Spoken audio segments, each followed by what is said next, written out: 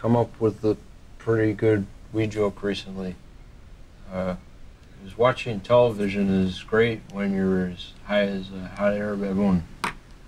I mean, a hot air bassoon. Oh gosh, I'm so ripped on doobies. It's just sad, man. You ain't never been high before in your life, have you? No.